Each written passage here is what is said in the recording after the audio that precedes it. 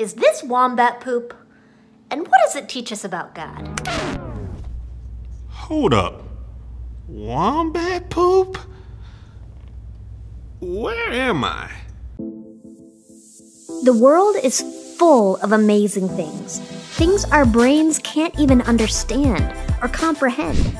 Like the Aurora Borealis, which is basically a giant laser light show in the night sky. And this rainbow eucalyptus tree that looks like a legit work of art. And Grand Prismatic Spring in Yellowstone National Park. And the fact that wombat poop is shaped like a cube. Yeah, that's true. Yep, this world is an amazing and sometimes crazy place. And our wild and crazy world can help us know more about God and who He is. This shot isn't quite as awesome, is it? At least, it doesn't feel as awesome or interesting. We just saw a few of the amazing things that exist in the world, but right now, my world is pretty much just this my room. You've seen it before because it's where I spend most of my time right now. Ah, okay. I see what's going on here. First, let me introduce myself. I'm T, and I'm gonna use this remote to pause and add some commentary during this episode. Remember 2020? People had to stay in their houses. That's what's going on here, okay? Let's keep going. This is where I do my work. It's where I relax. It's where I exercise. It's where I sleep. Everything seems to happen right here. It makes the world feel pretty small. Sometimes I even forget that outside my door is a world of amazingness. Yes, I said amazingness. If it's not a word already, it should be. That's true. That's all. Continue. Here are a few things that are still amazing no matter where you are. Did you know? A bolt of lightning is five times hotter than the sun.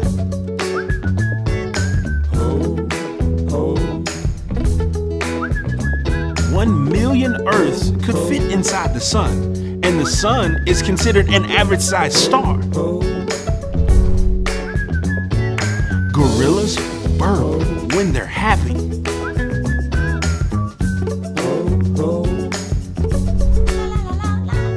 Now you know. Gorillas burp when they're happy?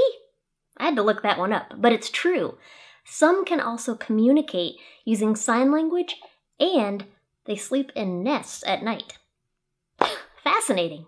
Now, I can kind of wrap my head around a gorilla burping when he's happy, but when we start talking about a million Earths fitting inside the sun, my brain just goes crazy bonkers. I have a hard time even imagining that. Sometimes the same thing happens when I think about God.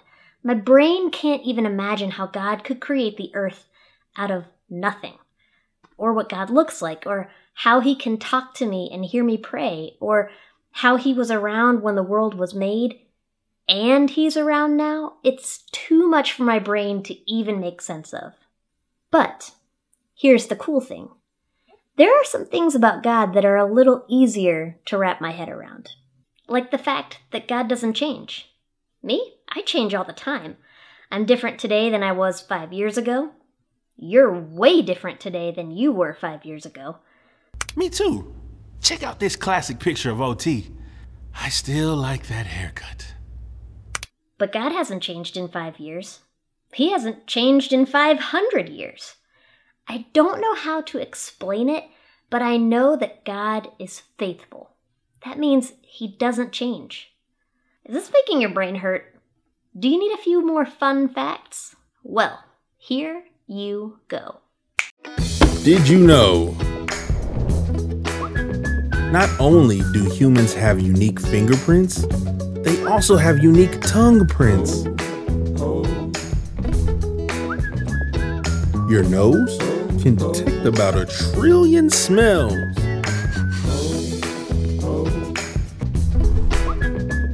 Rabbits and parrots can see behind themselves without even moving their heads.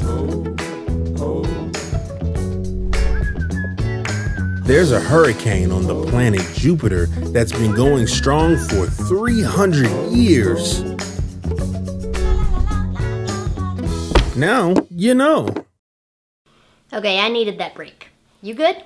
Ready to dive a little deeper? Absolutely. Okay, good.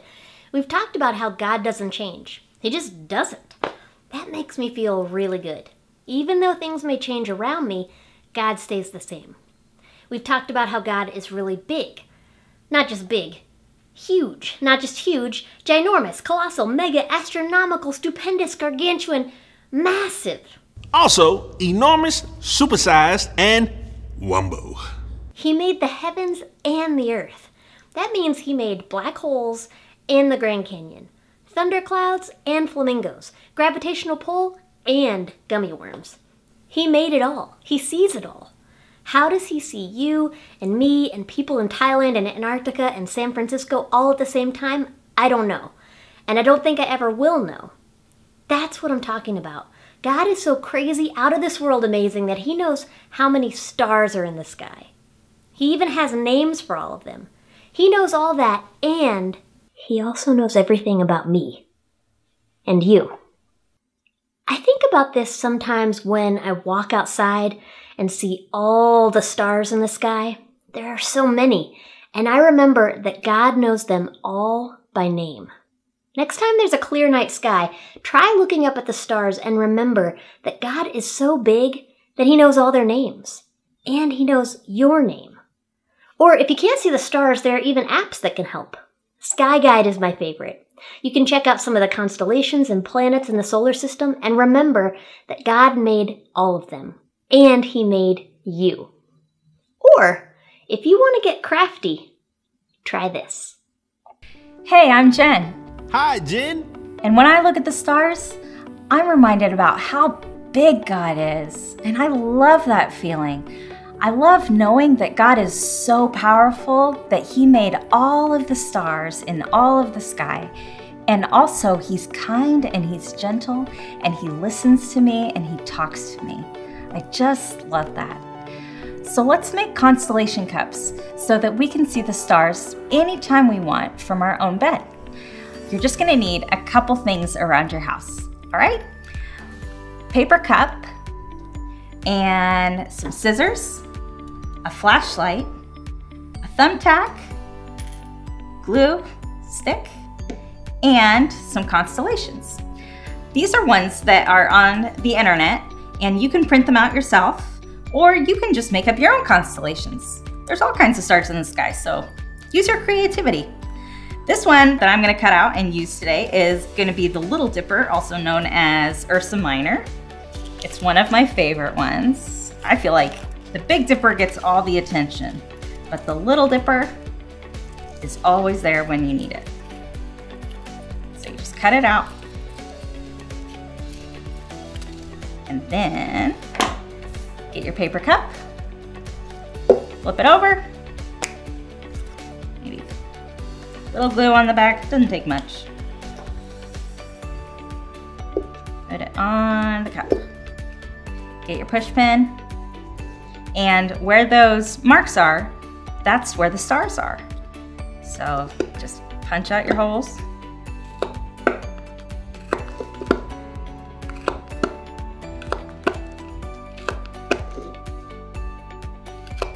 You can make all kinds of cups, all kinds of shapes. Here, I made a heart earlier. Next up, this is the fun part. Turn off all the lights and then shine your flashlight in your cup and shine it against the wall. And you can see the stars from wherever you are. And just know that the God who made the stars is the God who loves you so much. All right, hope you had fun. Bye. So cool. I want to see pictures of your constellation cups. Post them on Instagram with the hashtag WeAreKidsClub. I can't wait. So, God knows and has names for every star in the sky, and He knows your name, and my name, and our birthdays, and our favorite flavors of ice cream. And if that weren't impressive enough, the Bible says that God even knows how many hairs we have on our heads. Now, that might be kind of easy with this guy. Or this guy? But what about this guy? Or this one? I wouldn't know where to start, but God does. He knows all about you and me, and even those bald guys. I don't know about you, but I'm glad that God knows the whole story, from beginning to end. Your life, my life, everybody's lives. He sees the whole picture. I may not be able to comprehend it, but I'm grateful for it. Because me, I get all caught up in this tiny little room where most of my life happens right now. I just see this tiny sliver of what's going on. One little piece of the puzzle. But that doesn't give a very accurate picture, does it? Let's look at it this way. If I just spent time looking at one piece in a 50 piece puzzle, would I ever really understand the full picture? Of course not. It's not until you put all the pieces together that you understand what it is. Now imagine a bajillion piece puzzle.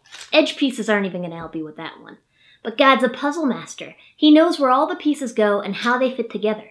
Always has, always will. In fact, He made the puzzle. Me and you, we're one of the puzzle pieces, and God knows exactly where we fit. We don't see the whole story, but God does. He sees it all. He made the galaxy, the stars, the planets, the continents, the oceans, and He made you. Let's thank God for that. God, thanks for making the whole world and all the amazing things in it. And thanks for making me. I love you, and there's no one above you.